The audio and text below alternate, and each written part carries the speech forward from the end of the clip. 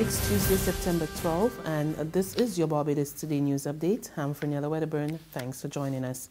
Our top story, fire damaged three houses in the St. Michael community of Jessamine, leaving one man and his son homeless. Ricky Boyce was jolted from his sleep by loud screams from his aunt, Lauren Boyce, who told Barbados Today how the incident unfolded. I sing fair, fair, holy for my niece here. Angela, Angela, fair, fair, I trying to get to the back, yet so hard, and then all of a sudden here, everything, name, everything, then they run home for Ricky, Ricky, Ricky. And I just, my heart stopped beating fast, and I just say want water, get on the road, somebody, and everybody running here. So you want to help him to, to, to, to, but he ain't save anything, so I just, I just, I was ready to go on. So when they done, they help the girl get something to eat and. Boyce lost all his possessions and was too distraught to speak to the media. Over 10 boys between the ages of 17 and 27 who were nearby saw the smoke and rushed to lend a helping hand. Acting Divisional Officer of the Barbados Fire Service, Henderson Patrick, was so impressed with the community's response that he publicly thanked the youngsters. Our fire department to commend you for the tremendous work that you did in assisting these um, residents to get stuff out of their house. And some of you um, had hose, your own garden hose, try to help out. I saw some of you assisting the fire department in, in holding their own hose and, and those kind of things. And all of that action led to the final outcome that we had today. If you did not do the part that you did, it would probably be worse. So I want to take the opportunity to commend you. When, when you do good, you must be commended, right? So I want to take the opportunity to thank you for the work that you did um, in assisting the residents and by extension also assisting the fire department in achieving the outcome that we have here. Thankful to be alive. That's how Charlene Bovell, Brian Cole, and Melissa Koyman, three Barbadians who reside in St. Martin, are feeling today. They endured the horror of the powerful Hurricane Irma, which decimated the territory. Today, they were rescued and brought home by the Barbados Defense Force with the assistance from the Regional Security System headquarters. Bovell, who has been teaching on the island for just over a year, described the experience as simply awful. Where I was staying, it wasn't, I didn't know the destruction was so bad. Only after we left and went like two blocks down, I realized that it was awful. Roofs, trees, everything, everything was awful. Um, some of my friends lost their houses, and I didn't feel that way because you know it didn't hit me. Um, the looting was scary because I live alone, and they were they started to rob houses too. So that, that was a bit scary. So then I stayed with a friend of mine, but I didn't really feel it. But I just want to get out of Mars. Cole, also a teacher, described it as a nightmare and said Barbadians should be more thankful when weather systems miss the island. The spear set in really quickly because communication went down very quickly. Communication went down very quickly and the spear set in, so the spear set in and the looting started and and you saw you saw the well the two sides of human nature. The kind the kind acts of strangers, of people who you just say good morning or good evening to as you were on your way to work. And then you saw the senselessness of some um, breaking into stores that weren't damaged during the hurricane, thieving um, TVs, jewelry. So it was a it's, it's a, a, total mixed bag, but I, I, I hope they recover. I, I know they will. It'll take them some time. Meanwhile, Anguillan Mark Connor, who's been stranded here in Barbados for a few days now, is anxious to return to his homeland to share some much-needed goodies. During his unexpected stay caused by the passage of Hurricane Irma, Connor has been receiving supplies for his countrymen, including water and medicine, from members of the public. Connor told Barbados today he's overwhelmed by the generosity of Barbadians and he's hoping other Caribbean neighbors will follow suit. I think we need to get this out there, this this effort what Barbados is actually doing for Anguilla, um, to get a positive impression through from the Caribbean throughout the world because we obviously we heard what happening in St. Martin, we're, we're hearing what happening in BVI, And um, that's on a piece of the, the country, on a piece of the Caribbean. And we are one, we are one nation. Um, and it's good that we could showcase what Barbados is doing, which is a positive, positive real, real positive effort. In other news, the president of the Bar Association says transparency is a must if the justice system is to improve.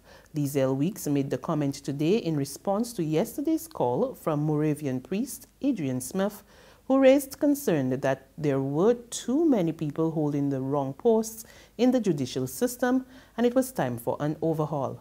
Weekes agreed, and she told Barbados today there should be full transparency when posts are being filled. And I think what our problem might be is that in a lot of our institutions, we haven't set out specific criteria for what is best. How to get a round peg so that we could put it in a round hole. And I think if you had a system where you had criteria set out, not just qualifications, but there are personal characteristics that are required for certain positions. There is a certain amount of administrative and managerial um, skill sets that are required those things, and those things should be clearly set out somewhere. And the people who wish to take those positions must be able to demonstrate in a real way that they satisfy these criteria. And that's how you best know whether you have a round peg for a round hole or you're trying to fit a hexagon in it. And I think that until we revisit how we do this, we're going to continue asking ourselves a question. There's regional and international news after this short break. Morning, Miss Oh yeah. Morning.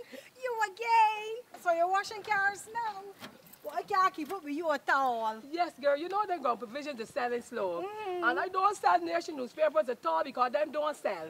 So I washing cars now. I like to get up before 8.30 because I can't take the hot sun. You want the car wash? No, not today.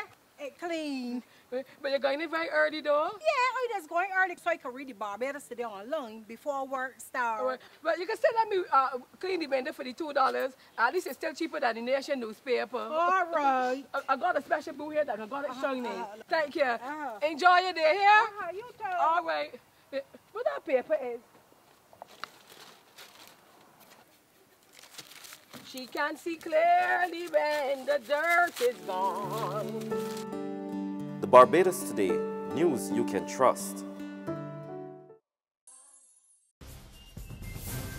Continuing with regional developments, more than 100 high-risk prisoners escaped in the British Virgin Islands during Hurricane Irma, a British junior minister said on Tuesday as he raised the death toll in the British territories to nine. Junior Foreign Minister Alan Duncan told Parliament today that there is a serious threat of a complete breakdown of law and order in the BVI. Duncan said Royal Marines were deployed to cope with the threat but did not disclose how many prisoners had been apprehended or how many were still at large. The Daily Telegraph said notes from a cabinet meeting that were leaked to the press on Tuesday suggested that as many as 60 had yet to be recaptured. Now, French President Emmanuel Macron today pledged to rebuild the French Caribbean territories ravaged by Hurricane Irma amid mounting criticism that European nations and the U.S. had neglected their responsibilities in the region.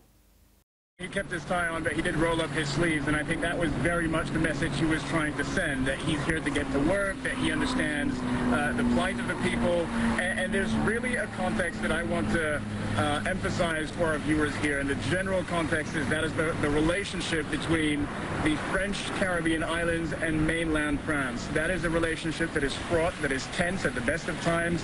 Uh, Caribbean islands, French Caribbean islands feel that they are the estranged cousin that doesn't get all the resources, all the love, all the attention that aren't prioritized, even at the best of times. So now when they see all this destruction, and by the way, let's pause to consider this number. 60% of the buildings and homes in St. Martin are uninhabitable. So what do you do with that? You can't live in them. So when they consider this destruction, and they consider that France is one of the top tier economies in the world, they're wondering, why don't we get more, and why don't we get it faster? Here's what the French president said.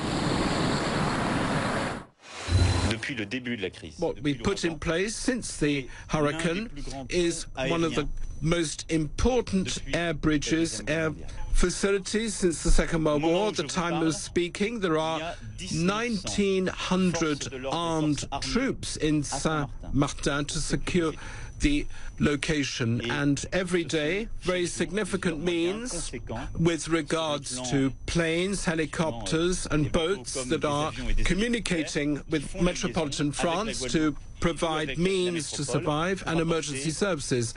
And finally, residents of the Turks and Caicos Islands face a large rebuilding effort after Hurricane Irma made landfall this week.